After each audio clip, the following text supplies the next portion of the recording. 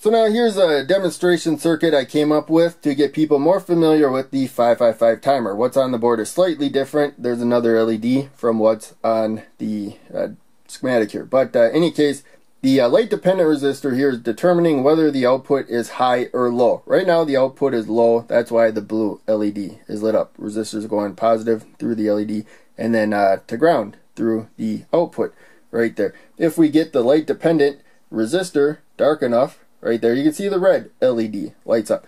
So the way we have this wired, the schematic I should say, wired up, we just want light to happen when we get it dark enough there. And so if we want to make this a night light though, the red LED is not uh, the best choice. We'll zoom in so we can get a better look.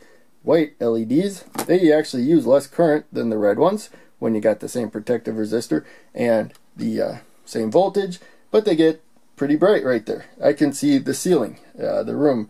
Uh, at night, you could get through a room uh, fairly easily, even with that amount of light there. So a night light would be a little more like this. Now, this isn't a perfect circuit. We are actually using about 2 milliamps of current approximately. This isn't completely accurate, even when the LED is off.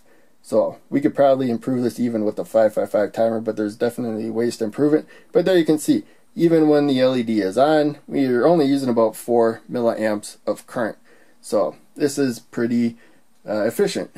So now let's take a quick look at uh, the schematic up closer for those who want uh, some extra coverage of this. So we got uh, pin 3 and it's either connected to the positive supply high or what you usually use to describe it and the LED will light up. So it doesn't make a direct connection, it has to go through some transistors.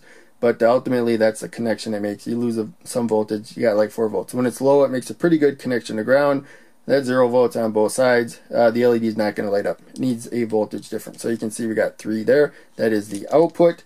And when it comes to the physical component, number 3 is always right there, no matter where it says 3 on the board. You just uh, connect whatever says uh, 3 and is connected to it that's how you connect it on the board. Hope that makes sense. So, in any case, the reason why the output is high when it is high, pin number 2, right there, 2 is the trigger pin. It actually wants the output to be high all the time.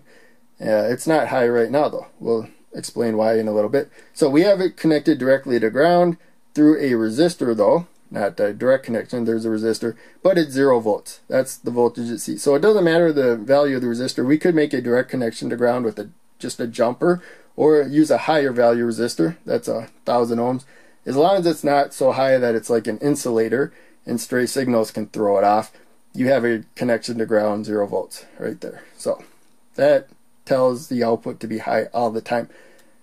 But the output's not high all the time. It's not high right now because we have a low input to pin 4. So pin 4, right there, bottom left, is the reset pin. And a reset pin, when it has a low input, the output's low no matter what. So it doesn't matter what pin 2 wants. Pin 4 has a low input, the output's low. Uh, end of story, right there. So hopefully that makes sense. Reset pin overpowers anything else the 555 timer wants to do.